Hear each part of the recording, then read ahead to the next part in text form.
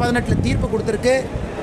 சோனியா காந்தி ராகுல் காந்தி அவர்கள் ஆரம்பித்த இந்த யங் இந்தியா கம்பெனிக்கும் நேஷனல் ஹெரால்டு பேப்பர் இல்லீகலாக டேக் ஓவர் பண்ணதில் ஏதோ ஒரு சதி நடந்திருக்கிறது. நேஷனல் ஹெரால்டு பேப்பரினுடைய சொத்து இரண்டாயிரம் கோடி. யங் இந்தியா வெறும் ஐந்து லட்சம் ரூபாய் ஷேர் கேபிட்டல் வச்சு அதை அபகரிப்பு செய்திருக்கின்றார்கள். அதற்காக இடி விசாரணை நடத்துகிறாங்க அதில் முகாந்திரம் இருக்குது இங்கே எந்த விதமான முகாந்திரமும் இல்லாமல் நம்முடைய முதலமைச்சர் அவர்கள் பாரதிய ஜனதா கட்சியினுடைய தொண்டர்களை கைது செய்துவிட்டு காவல்துறையை ஏவல் துறையாக பயன்படுத்திவிட்டு குற்றம் சாட்டுவதற்கு என்ன முகாந்திரம் இருக்குது என்பதையும் கூட இந்த பத்திரிகையாளர் சந்திப்பிலே கேட்பது எங்களுடைய கடமை. இதை தாண்டி நண்பர்களுக்கு இரண்டு விஷயத்தை பகிர்வது எங்களுடைய கடமையாக நினைக்கின்றோம். நம்முடைய மத்திய அரசு தன்னுடைய கேபினெட் மீட்டிங்கில் பாரத பிரதமர் நரேந்திர மோடி அவர்கள் எடுத்த முடிவை அறிவிப்பாக சொல்லியிருக்கின்றோம்.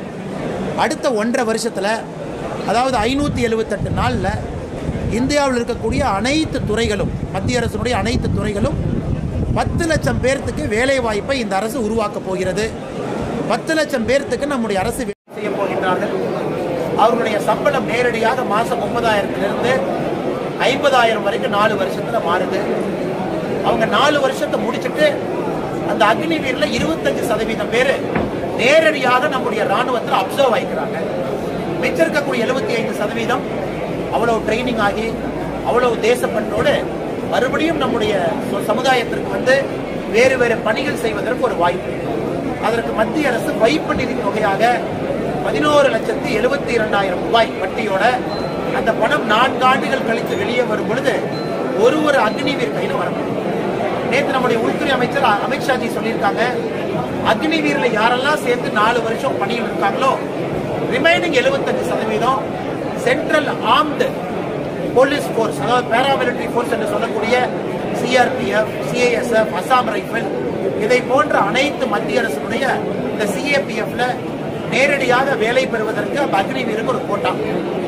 உத்தரப்பிரதேசனுடைய முதலமைச்சர் யோகி ஆதித்யநாத் அவர்கள் மத்திய பிரதேசனுடைய முதலமைச்சர் சிவராஜ் சிங் சௌகான் அவர்கள் இந்த அக்னிவீரிலிருந்து யார் வெளியே வர்றாங்களோ அந்த மாநிலத்தில் காவல்துறைக்கு நடக்கக்கூடிய ரெக்ரூட்மெண்ட்ல அவங்களுக்கு ஒரு கோட்டா அதனால் பாரதிய ஜனதா கட்சி இன்று என்ன சொல்லுதுன்னா அந்த பத்திரிகையாளர் சந்திப்பில் இந்த அக்னிவீர் திட்டத்தை நம்முடைய இளைஞர்கள் முழுமையாக பயன்படுத்திக் கொள்ளணும்.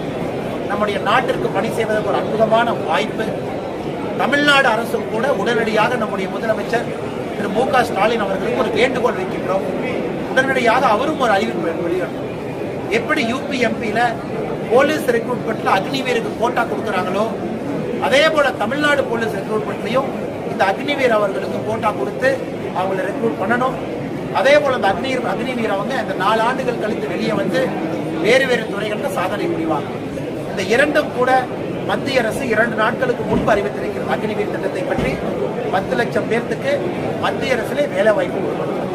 இதை மொத்தமாக பத்திரிகையாளர் நண்பர்களுக்கு சொல்லி இருக்கின்றோம் உங்களுக்கு கேள்வி இருந்துச்சுன்னா கேளுங்க நம்ம பதில் சொல்றோம். மேகதாது அணியின் திட்ட அறிக்கை குறித்து காவிரி மேலாண்மை வாரியத்தில் விவாதிக்கப்பட்டது அந்த அதிகார மீறிய செயல் ஆனால் ஆனா இதை பற்றி நேற்று பாரதிய ஜனதா கட்சி அதிகாரப்பூர்வமாக சொல்லியிருந்தோம். நம்முடைய Kaveri water management body Kaveri நீர் மேலாண்மை அந்த அமைப்புக்கு மேகதாத்துல கர்நாடகா கட்டுறதுக்கு அனுமதி கொடுக்கறதுக்கு அந்த அமைப்புக்கு அங்கீகாரம் கிடையாது வரையறை கிடையாது. இந்த காவிரி வாட்டர் மேனேஜ்மெண்ட் போர்டு அது அமைப்பு அமைச்சிருக்கிறதே நம்முடைய அரசு ரெண்டாயிரத்தி பதினெட்டுல.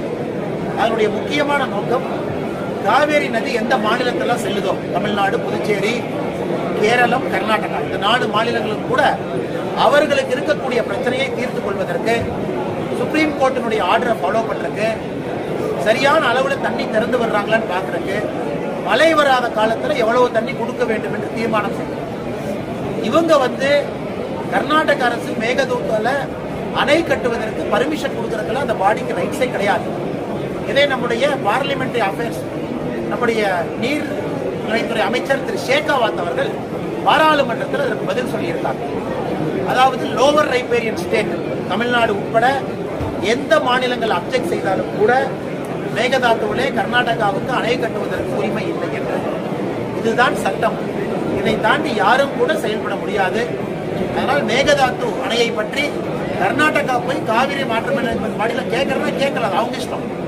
ஆனா அது கேட்கறாங்கிறதுக்காக காவிரி நீர் மேலாண்மை ஆணையம் எந்த விதமான பதிலும் சொல்வதற்கு அவர்களுக்கு அங்கீகாரம் கிடையாது முகாந்திரம் இல்லை. ஏனென்றால் முடிவெடுக்கக்கூடிய அதிகாரமே அவங்களுக்கு கிடையாது. ஆனால் கர்நாடகா சொல்லட்டும் என்ன வேணாலும் சப்மிட் பண்ணட்டும் ஆனால் அதை பொருட்டாக எடுத்துக்கொள்ள வேண்டிய அவசியம் கிடையாது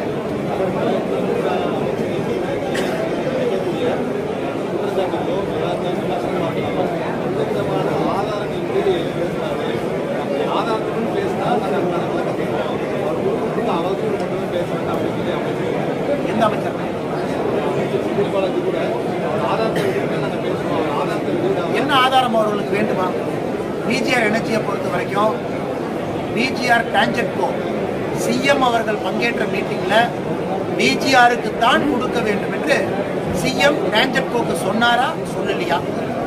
அந்த ஆதாரம் பாரதிய ஜனதா கட்சி ஆல்ரெடி வெளியிட்டிருக்கு. இதுவரை முதல்வர் அலுவலகத்திலிருந்து பதில் கிடையாது. டான்ஜெட்கோ டான்ஜெட்கோக்கு பிஜிஆருக்கு கொடுங்கன்னு முதல்வர் தலைமையில் நடந்த மீட்டிங்ல மினிட்ஸ் ஆஃப் த மீட்டிங்ல முதல்வர் சொன்னது இருக்கு. டான்ஜெட்கோ வந்து ஒரு டெண்டர் குவாலிஃபை ஆகாத ஒரு கம்பெனிக்கு எப்படி கொடுத்தாங்க?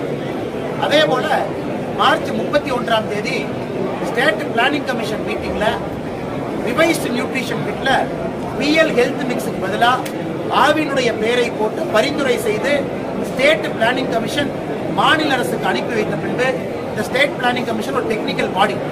இவங்க எல்லாத்தையும் ஆராய்ஞ்சிட்டு ஆவினையும் கூப்பிட்டு பேசிட்டு அந்த ஹெல்த் மிக்ஸில் மாற்றணும்னு சொல்லி டெண்டரில் இதை ஆட் பண்ணுங்கன்னு சொன்ன டாக்குமெண்ட்டை பாரதிய ஜனதா கட்சி வெளியிட்டிருக்கிறது. அதற்கு இதுவரை அமைச்சருடைய பதில் இல்லை. அதே போல டெண்டரை பொறுத்தவரை இது ஒரு சீல்டு கவர் டெண்டர் ரெண்டு பேர் பங்கேற்கிறாங்க எல் ஒன் எல் டூ இதன் முழுமையாக அமைச்சர் அவர்கள் தப்பிக்க வேண்டும் என்றால் பாலாஜி டெக்ஸ்கார்ட் அவங்க இந்த டெண்டர்ல கோட் பண்ண பணம் எவ்வளவு? போன வருடத்தை வர ஒன்பது சதவீதம் அதிகமாக பாலாஜி சர்ஜிக்கல் கேர் கோட் பண்ணியிருக்காங்க. ரெண்டையும் வெளியிடுங்க. இரண்டாவது நாம் சொல்லியிருப்பது குறிப்பாக இந்த அயன் சிறப்புக்கு எதற்காக மார்க்கெட் ரேட்டை விட இரண்டு மடங்கு அதிகமாக அதுக்கு டாக்குமெண்ட் கொடுத்துருக்கோம். தமிழ்நாடு மெடிக்கல் சப்ளை கார்பரேஷன்ல வாங்கப்பட்ட அயன் சிறப்புடைய விலை என்ன? இந்த டெண்டர்ல கொடுத்த அயன் சிறப்புடைய விலை என்ன? இதற்கு மேல அவங்களுக்கு என்ன வேணும்? பிஜிஆரை பொறுத்தவரை பாரதிய ஜனதா கட்சி கேட்பது ஒரு ரிட்டையர்டு ஜட்ஜை போட்டு இரண்டாயிரத்தி ஆறிலிருந்து இருபத்தி இரண்டு வரை பிஜிஆர் செய்த அனைத்து ஒப்பந்தங்களையும் வெள்ளை அறிக்கையா கொடுங்க இரண்டாயிரத்தி பதினொன்றுல மேட்டூர் பவர் ப்ராஜெக்ட்ல போட்டது.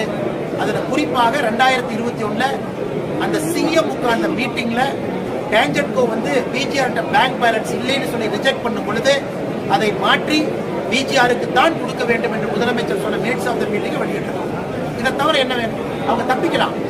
போலீஸ் அவங்க கையில் இருக்கு விஜிலன்ஸ் அவங்க கையில் இருக்கு. இன்னும் மூணு வருஷம் தப்பிக்கலாம். மூணு வருஷம் திமுக தப்பிக்கலாம். ஆனா இந்த டாக்குமெண்ட் எல்லாமே எப்பவா இருந்தாலும் பேசத்தான் போகுது. இந்த டாக்குமெண்ட் இருந்து பிஜிஆர்ல இருந்து மின்துறை அமைச்சர் தப்பிக்க முடியாது. அவங்க அரசு அவங்க கைது பண்ணுவாங்க நாங்க எதிர்பார்க்கறது முட்டாள்தனம். அரசு மாறும் பொழுது முதல் நாள் முதல் கைது மின்துறை அமைச்சர் செந்தில் பாலாஜி அவர்கள். இந்த டாக்குமெண்ட்ல தான் தப்பிக்க முடியாது. அவங்க இன்னும் மூணு வருஷம் நாலு வருஷத்தை பேசலாம். ஏன்னா இன்வெஸ்டிங் ஏஜென்சி ஏஜென்சி அவங்க கையில் இருக்கு விஜிலன்ஸ் அவங்க கையில் இருக்கு. நாங்கள் குறிப்பாக இந்த பிஎல் ஹெல்த் மிக்ஸுக்கு டிவிஎஸ்சி கம்ப்ளைண்ட் கொடுத்துருக்கோம். பிஜிஆரை பொறுத்த வரைக்கும் நம்முடைய கவர்னர் ஆஃபீஸில் டாக்குமெண்ட்டை சப்மிட் பண்ணியிருக்கோம். இது இரண்டுக்கும் கூட ஒரு கால நிர்ணயம் இருக்கிறது. அதற்குள்ள வரல அப்படின்னா இது கோர்ட்டுக்கு போக வேண்டிய சந்தர்ப்பம் கூட பாரதிய ஜனதா கட்சி இருபத்தெட்டு தொகுதிகளை கைப்பற்றும் அப்படின்னு அண்ணாமலையுடைய கனவுல கெடுக்க விரும்பலன்னு இந்திய கம்யூனிஸ்ட் கட்சியினுடைய மாநில முத்தரசன் எப்படி பார்க்கறீங்க? அதாவது இந்தியாவுடைய முதலமைச்சர்ல ஒரு சிட்டிங் முதலமைச்சர் கடத்தல்காரங்கிற பேரை எங்கேயுமே வாங்கினது கிடையாது. இந்தியாவில் இத்தனை முதலமைச்சர் இருக்காங்க. வடகிழக்குல இருந்து பஞ்சாப்ல இருந்து தமிழ்நாடு வரைக்கும். எந்த முதலமைச்சருமே கடத்தல்காரன் பேரை வாங்கணும் அவருடைய கட்சியை சார்ந்த முதலமைச்சர் ஒருவருக்கு தங்க கடத்தல்காரன் மக்கள் பட்டமே கொடுத்துட்டாங்க. அது இப்ப வெளியே ஒரு ஒரு விஷயமா வர ஆரம்பிச்சு அடுத்து சவுதி அரேபியால முதலமைச்சருடைய பெண் கேரளா முதலமைச்சருடைய பெண் ஒரு ஐடி கம்பெனி ஆரம்பிக்கிறதுக்கு முதலமைச்சர் சவுதி அரேபியன் கவர்மெண்ட்டை இல்லீகலா இன்ஃப்ளூயன்ஸ் பண்ணியிருக்காரு. அந்த ஸ்டோரி கேரளாவில் பார்த்தா தான் பிரேக் ஆகிட்டு அதனால இன்னும் மூன்று நாட்கள் கொடுத்தீங்கன்னா தமிழ்நாட்டில் இருக்கிற கம்யூனிஸ்ட் கட்சிக்காரங்க தலைமையில முக்காட போட்டுட்டு வீட்டை போட்டு உள்ள உட்காந்து வெளியே வந்து மக்களை பார்த்து பேசுவதற்கு எந்த கம்யூனிஸ்ட் கட்சிக்காரங்களுக்கும் முகாந்திரம் கிடையாது. இதை யோசிச்சு பாருங்க. ஒரு முதலமைச்சர் தங்க கடத்தல் இரண்டாவது முதலமைச்சர் தன்னுடைய மகளுக்கு சவுதி அரேபியால ஐடி கம்பெனி வேண்டும் என்று சவுதி அரேபியா கவர்மெண்ட்டை இன்ஃபுளுன்ஸ் பண்றாங்க. அதனால் இருபத்தி எட்டு என்பது கனவு கிடையாது அது கனவு தான் இந்தியாவில் எங்கேயுமே கட்சி இல்லாமல் தமிழ்நாட்டில் ஒரு கூட்டணியில தஞ்சம் வைத்துக் கொண்டிருக்கின்றார்கள் கம்யூனிஸ்ட் கட்சிக்காரர்கள். கூட்டணி இல்லாம இருந்தா டெபாசிட் என்ன? ஓட்டு போற ஸ்லிப்பு கூட கம்யூனிஸ்ட் கட்சிக்காரர்களுக்கு கிடைக்காது. இதையெல்லாம் அண்ணன் முத்தரசன் அவர்கள் உணர்ந்து விட்டு பேசுவார்கள் என்ற நம்பிக்கை.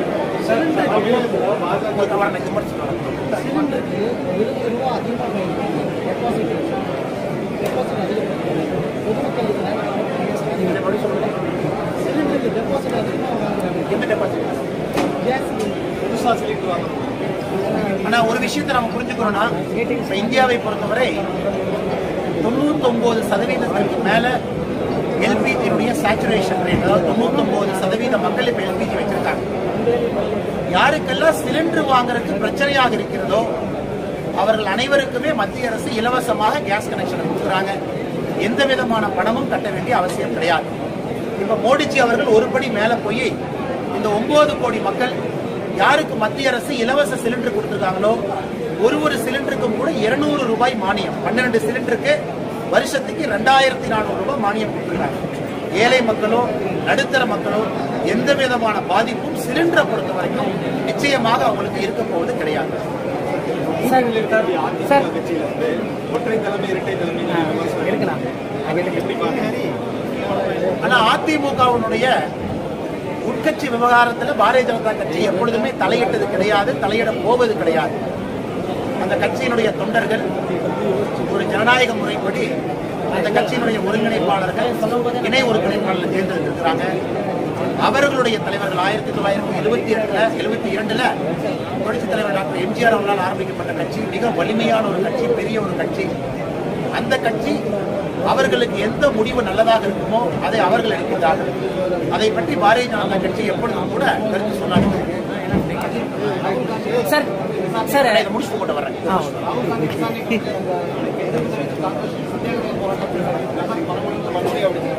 அதனால நம்மளுடைய கரூர் எம்பி வந்து ரொம்ப பர்சனண்டா எடுத்துட்டு போற மாதிரி அவங்க வீடியோவில் நம்ம கரூர் எம்பியை பத்தி சொன்னீங்க.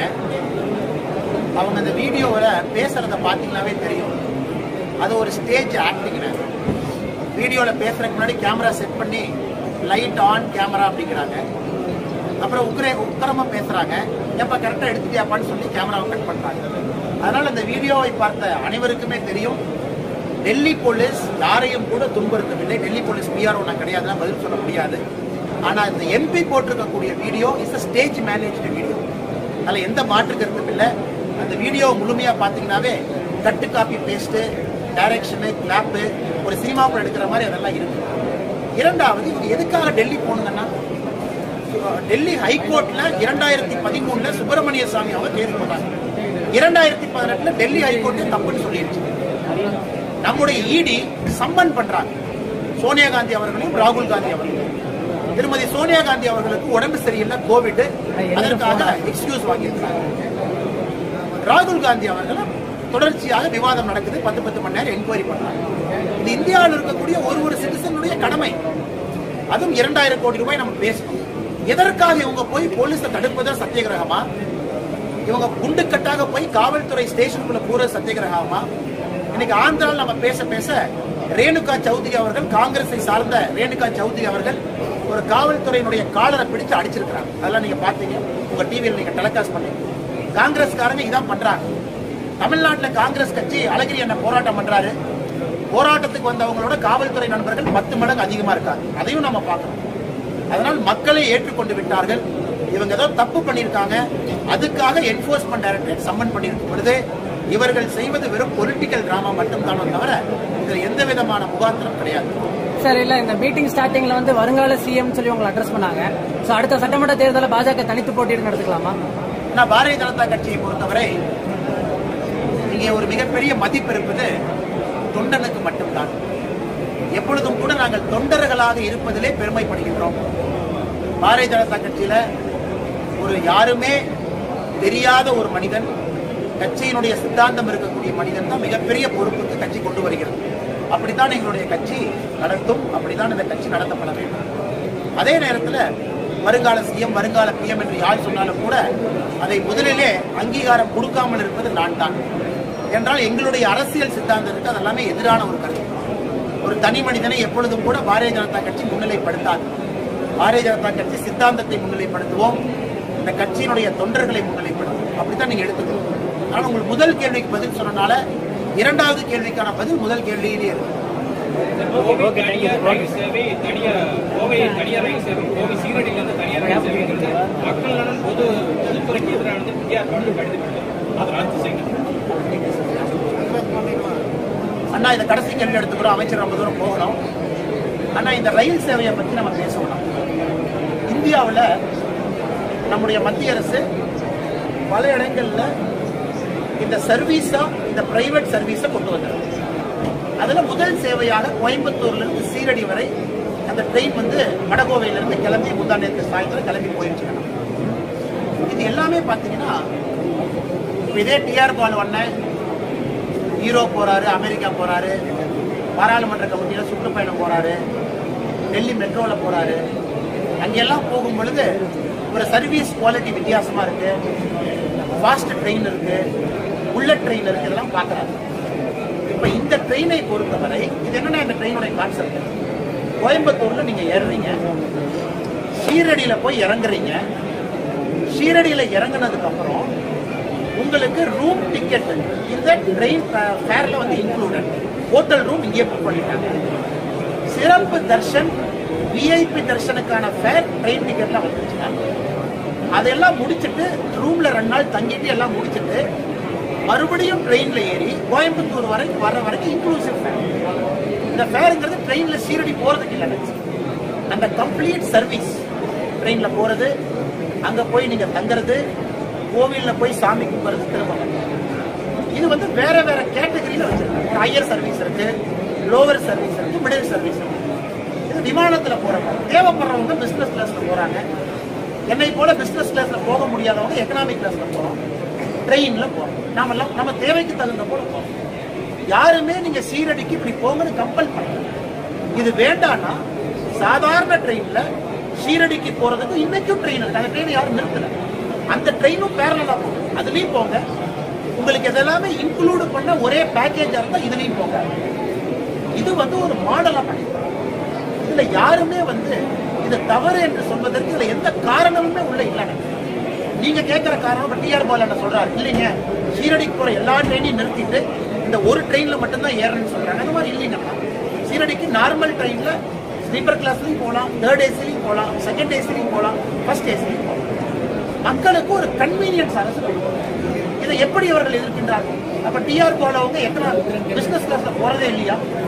டிஆர் பாலு ஏர் இந்தியாவில் வாங்கின பிசினஸ் கிளாஸ்ல சரண்டர் பண்ணணும் அவர் மட்டும் எப்பயா பிசினஸ் கிளாஸ்ல போறாரு.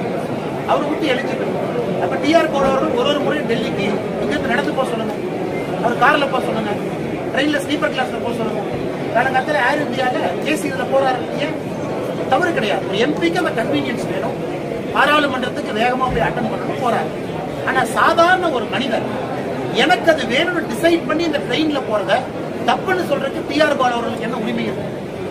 டிஆர் பால் அவர்கள் சொல்ற கருத்தை பாஜக எப்ப கேட்குன்னா அண்ணே நீங்க சீரடிக்கு போற எல்லா ட்ரெயினையும் நிறுத்திட்டீங்கன்னு சொன்னா ஏத்துக்கோ. வந்து தவறு. இது எலிட்டிஸ்ட் இது ஹை கிளாஸ் மக்கள் தான் இந்த மாதிரி பிஹேவ் பண்ணுவாங்க நான் மட்டும் ஏசியில போகணும் நான் மட்டும் ஒரு சர்வீஸ் அவைல் பண்ணணும் சாதாரண மக்களுக்கு ஒரு சர்வீஸே வரக்கூடாதுன்னு நினைக்கிறது எந்த விதமான ஒரு பண்பு சார் சார் ஒரே லாஸ்ட் கேள்வி. சார் லாஸ்ட் கேள்வி சார். சார் லாஸ்ட் கேள்வி. இல்ல ஸ்டார்டிங்ல அந்த உக்ரைன் ஸ்டூடெண்ட் வந்து இந்தியால வந்து எங்களை படிக்க வச்சா நல்லா இருக்கும்னாரு. இந்தியால வந்து அந்த உக்ரைன் ஸ்டூடெண்ட்ஸை படிக்க வைக்கிறதுக்கு வழி இருக்கா? திட்டம் கொண்டு வரும் ஆனா இது வந்து வெளியுறவுத்துறை அமைச்சர்களுடைய காலையிலே இதை பத்தி சொல்லிட்டாங்க. அமைச்சரை வச்சுட்டு அமைச்சர் சார்பா நான் பேசக்கூடாது. அமைச்சர் மேடையில பேசுறது நான் அப்படியே தமிழ்ல சொல்லிடுறேன். அமைச்சர் என்ன சொன்னாங்கன்னா உங்களை இவ்வளவு இடத்திலிருந்து கஷ்டப்பட்டு இந்தியாவுக்கு கொண்டு வந்த அரசுக்கு உங்களுடைய வாழ்க்கையையும் காப்பாற்ற தெரியும். அது அரசு கையில விட்டு விடுங்கன்னு அமைச்சர் சொல்லியிருக்காரு. அதனால அரசு நல்ல முடிவெடுக்கும். அதுவரை காக்கும் நிறைய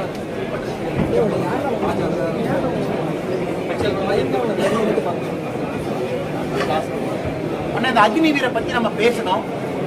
அதாவது ராணுவத்தில் நான்கு ஆண்டுகள் சேருவதற்கு நம்ம பத்திரிகை நண்பர்கள் கேட்குற கேள்வி என்னன்னா பீகாரில் இதை எதிர்க்கிறாங்க போராட்டம் பண்ணுறாங்க ஆனால் இது ஆர்மியில் ரெகுலர் ரெக்ரூட்மெண்ட்டுக்கு எதிரானது கிடையாது. கேப்டன் ஷார்ட் சர்வீஸ் கமிஷன் அதெல்லாம் தனித்தனியாக நடக்குது. சிப்பாய் அதெல்லாம் நடக்குது. இது அக்னி வீரங்கிற கான்செப்ட் நான்கு வருட காலம் ஆர்மியில் பணி செஞ்சுட்டு வெளியே வந்து அவர்கள் தேச பக்தர்களாக வேறு வேறு வேலை செய்வதற்கு ஒரு டுவெண்ட்டி ஃபைவ் பர்சன்ட் இதுல இருந்து ஸோ அந்த நார்மல் ரூட்ல போறவங்க எல்லாமே அக்னிவீர் பரீட்சைக்கு வரலாம். பதினேழு ஆண்டுகள்ல இருந்து இருபத்தி ஒரு ஆண்டுகள் யாருக்கும் எதிரானது கிடையாது. உலகத்துல எல்லா நாட்டிலையுமே ஜென்ரல் ரிசர்வ் பேர்ல இருக்கு. சிங்கப்பூர்ல இருக்கு அமெரிக்கால வச்சிருக்கா ஐரோப்பிய நாடுகள்ல வச்சிருக்கா ரிசர்வ் ஆர்மியில் வச்சிருக்கா. அது எந்த விதத்திலும் யாருக்கும் எதிரானது கிடையாது.